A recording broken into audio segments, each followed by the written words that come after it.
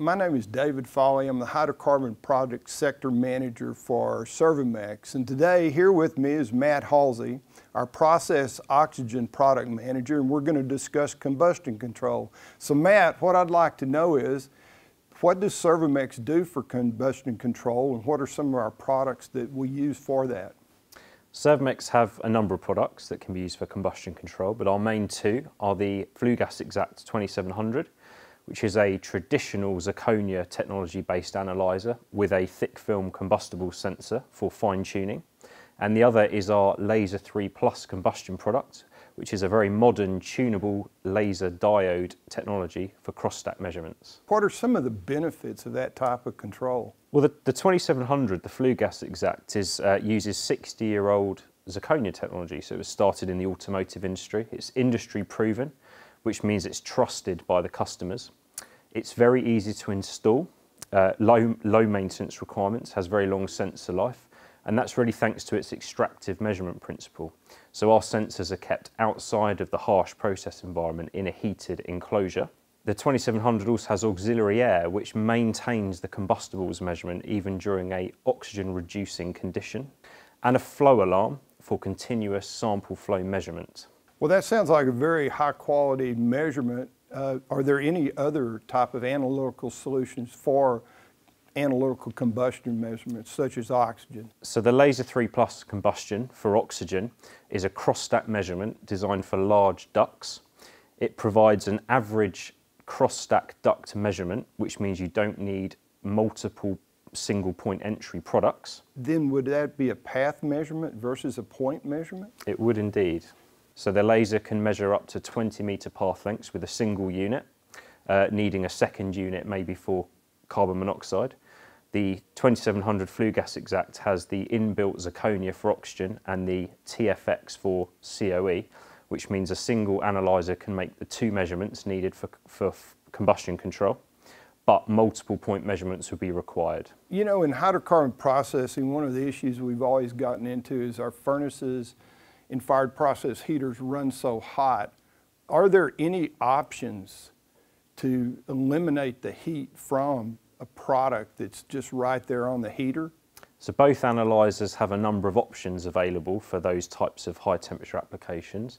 The FluegasExact, for example, we can use thermal spacers to isolate the analyzer from the hot process wall, or we can stand the analyzer away. We even have the option for remote extraction, where the analyzer is mounted on a skid or a panel 40 feet, 100 feet even away from the process. The laser has a number of options, similar options, thermal isolation flanges, standoff flanges, things like that. Well, that seems like the remote extractive then would be better for maintenance? Typically, yes. Um, sometimes your maintenance requirements can be higher than a direct mounting, but it certainly makes it safer to maintain and it allows much easier access on large applications. I'm curious, you know, most of our combustion products contain anywhere from 15 to 20% moisture. Are, is there any protective device in the, the flue gas analyzer that would allow you not to condense in the analyzer? So we use a heated block. So the sample is actually extracted from the process, unlike your traditional in situ zirconia probes.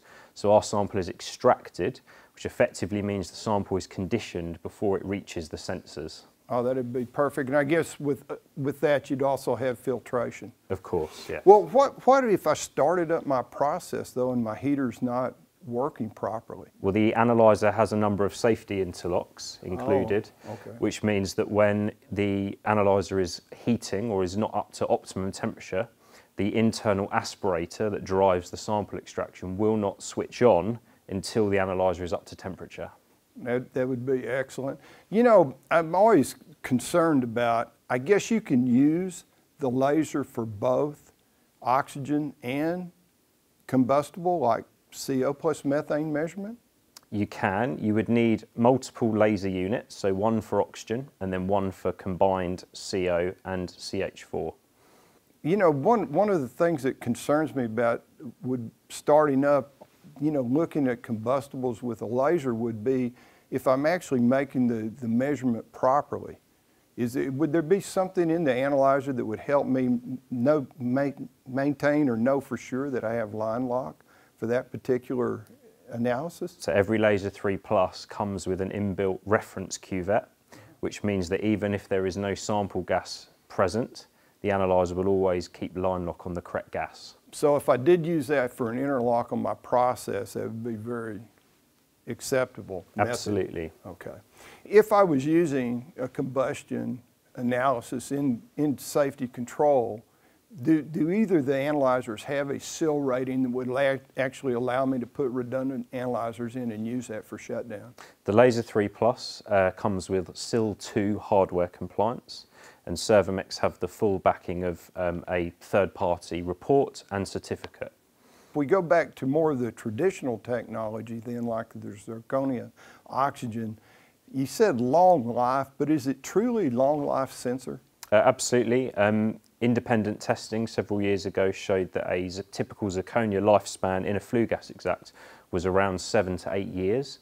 And really, that is thanks to the extractive principle, the fact that we keep our sensors away from the harsh process environment in a temperature controlled uh, environment, which ensures we have no dew point issues, no moisture, um, and no issues with acid gases. I understand. I'm also curious about, you know, calibration of the combustible sensor.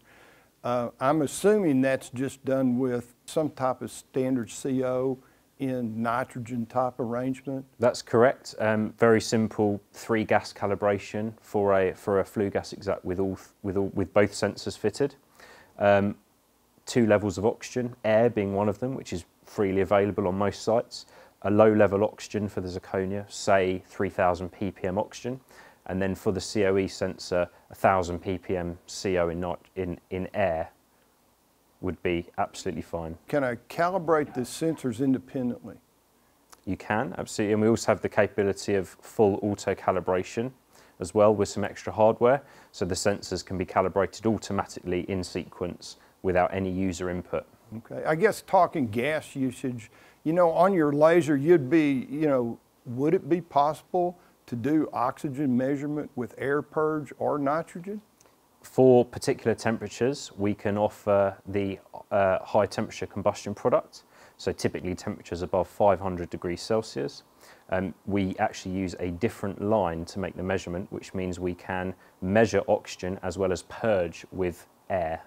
Okay. You know, you mentioned something interesting about combustible measurements with the standard TFX technology. How, how does it continue to make the measurement even if the oxygen value is low? So that would be down to the auxiliary air. So uh, internal to every FluegasExact is a small air restrictor, which trickles around 100 millilitres a minute of air over the TFX sensor and dilutes the sample ever so slightly. And what that means is even under reducing conditions, when there is no oxygen coming up the probe from the sample gas, we can still maintain our combustibles measurement. That would work really well. I guess so the summary would be that Servomex has a set of combustion solutions, both traditional zirconia and laser, that can be used for combustion control applications. What do you try to do? Match the right technology with the right Absolutely. We can offer the more traditional trusted technology or we can offer the much more modern lower maintenance technology depending on the customer requirements. I guess that would depend on whether I had a path or a point type measurement. Could the analysis technologies be combined? Uh, absolutely. Um, we are seeing a lot more customers or end users now use uh, zirconia for oxygen as it is this industry proven technology and then using the TDL technology to measure CO and combined methane which gives you fine control on your combustion process and your safety methane measurement. And again, I guess that would be a SIL technology that could be used for shutdown if needed Yes, in an SIS system. correct. Matt, really appreciate your input today into combustion control solutions. I guess if, if people would like to take this further with Servomex, what's the best way to get a hold of us? For any more information that's required, please contact your local business centre or visit www.servomex.com.